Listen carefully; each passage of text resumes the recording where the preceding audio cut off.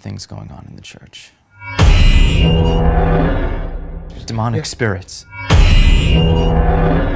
Dwellers. Dwellers? Have you ever wondered what happens to the demons that people exorcise when they come to church?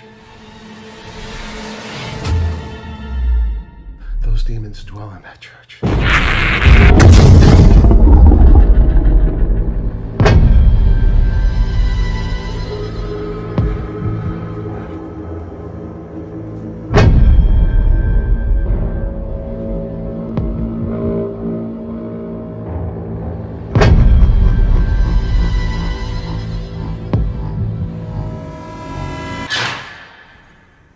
Let us pray.